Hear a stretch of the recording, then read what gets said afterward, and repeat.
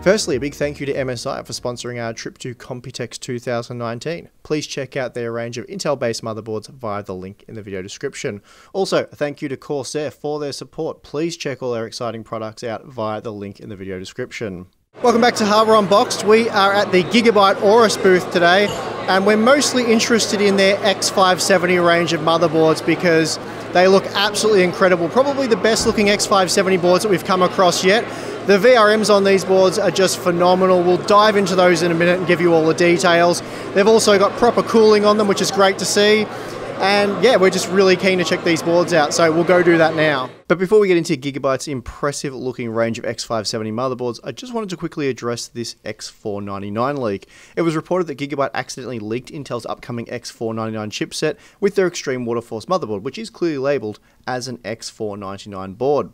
It sounds like Intel was looking to refresh their LGA 2066 platform by renaming the X299 chipset to X499, and this would make way for their upcoming third gen Core X HEDT lineup. But it seems like Intel might have thought better of that now, and they're just sticking with X299, at least for now. Gigabyte said the X499 naming was a placeholder since Intel only updated board partners very recently. Gigabyte has now gone with X299G, the G at the end indicates that these are new boards for 2019, and that makes them a little easier to differentiate from existing X299 parts. It's still the same old X299 chipset though, so no changes there. Anyway, the X299G Aorus Extreme Waterforce is a super impressive looking motherboard. Sadly though, I doubt Intel's 14nm plus plus Cascade Lake X processors will be as exciting. Moving on, a few months ago, Infineon announced the first true 1000 amp voltage regulator, also the industry's first 16 phase digital PWM multi phase controller. Codenamed XDPE132G5C, this 16 phase controller is designed to be paired with the TDA 21475 70 amp power stages, and I believe this is exactly what Gigabyte has done, giving their flagship board, the X570 Aorus Extreme, a current capacity of 1120 amps under optimal conditions. This means Gigabyte is able to offer a 16 phase motherboard without having to use doublers, and amusingly, their spec sheet says, and definitely not parallel. Clearly, that's a shot at ASUS and their doubled up design that features 16 power stages teamed up in pairs to make an 8 phase VRM. ASUS claims this improves transient response time as they don't use doublers, but that argument kind of goes right out the window when your competitor offers a 14 plus 2 phase VRM without the need for doublers.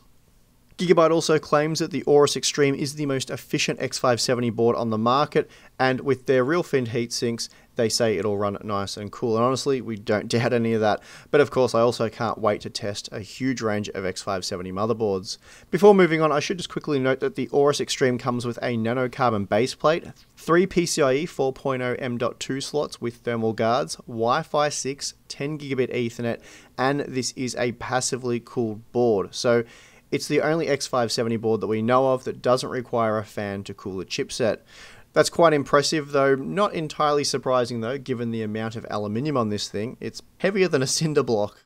Then, second in command, Gigabyte has the X570 Aorus Master, and this model features a 14 phase VRM using the same Infineon PWM. It's a 12 plus 2 configuration using 50 amp power stages. This model also features proper finned heatsinks over the VRM components, and there's also a huge array of features such as 3 M.2 slots, Wi Fi 6, Bluetooth 5, and 2.5 gigabit Ethernet. It's another great looking board that'll have no issue overclocking something like the Ryzen 9 processors to the max. Gigabyte also used a 12 plus 2 phase VRM configuration for the Aorus Ultra and Pro versions. Then there's the Elite, which also features a 12 plus 2 VRM, though I believe there is a component change here as it is the most affordable Aorus X570 motherboard. Then lastly, we checked out the X570i Aorus Pro Wi-Fi, and this cute little guy is a mini ITX motherboard with a VRM that puts most high end X470 motherboards to shame. I'm not even joking about that. It packs a 6 plus 2 phase IR VRM with a nice big heatsink, though this time we don't get real fins. Still, you'll have no issues with a 105 watt part in this board, and I imagine you'll even be able to overclock the snot out of it. The board also packs a pair of M.2 slots, Wi-Fi 6 and active cooling on the chipset heatsink. Overall, it looks to be a great little board and I reckon there's a good chance Tim and myself may upgrade our Computex editing rigs next year with a pair of these and of course some Ryzen 9 processors.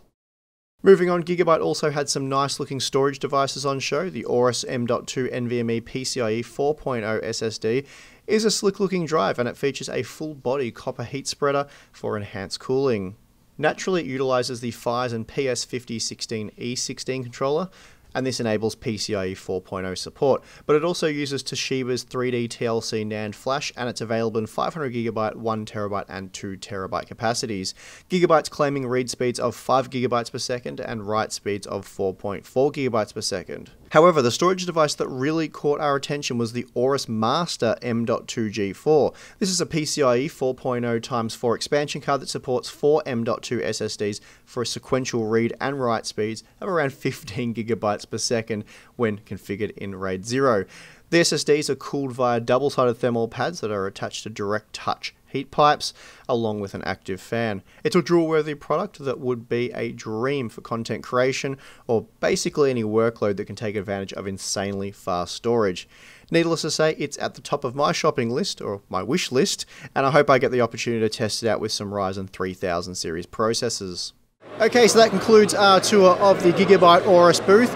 Hope you guys enjoyed those motherboards, and I'm keen to see what you guys think, or keen to hear what you guys think about those massive VRMs on all those X570 motherboards. Anyway, thanks for watching. Remember to subscribe, like, and I'll see you again next time.